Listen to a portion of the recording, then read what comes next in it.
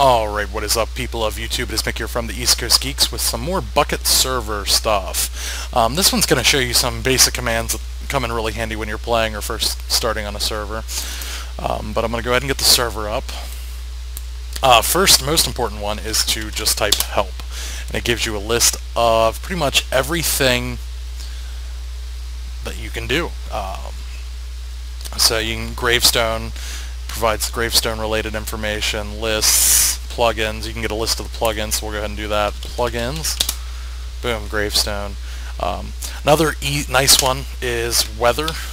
Um, it'll tell you usage. You can do weather clear, rain, or thunder. We'll just make the weather clear for the server. Weather clear. And it'll be clear weather for 797 seconds. Another one that comes in handy, especially if you just started and you're not finished with your town and you just don't feel like dealing with mobs, is this one.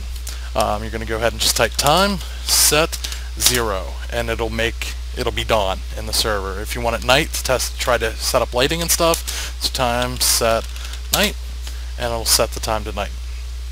Um, another good another good one to have, um, XP I was testing out some stuff um, when I did the gravestone thing with uh, with the other channel or the other server. Excuse me. Um, I killed I killed Ryan just to show off the grave uh, graves mod, and I needed to give him experience.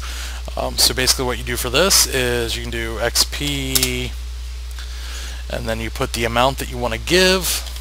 Let's say 2,000, and then you'll type in the player's name, like ECG Mick and that would give him 2,000. But he was, I'm not on the server, of course, right now with my client, so I couldn't give it to him.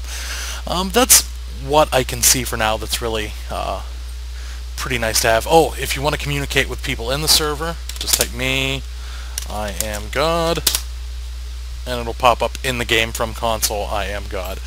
But pretty much that's all of the really important things you want to really need to know, um, besides game mode and stuff like that. If you want to change the game mode, uh, go back up to help here. Don't remember it off the top of my head.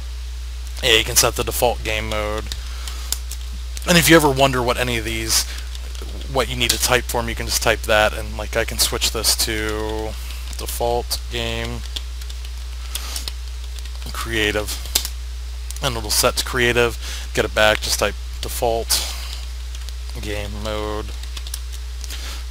survival, and you have survival back. Now, when you're done playing on the server, you want to shut down the server for the night or do any maintenance, add any plugins, anything like that. All you have to do is type stop, it'll stop the server, save it, and you can back it up. So, yeah, thanks for watching. Hope you guys enjoyed this. Um, if you like this video, definitely hit the like button, definitely subscribe, and we'll be seeing a lot more stuff from us. Also, don't forget to check out our uh, Facebook page, uh, and it is facebook.com slash East Coast Geeks. So, thanks for watching. Hope you guys have a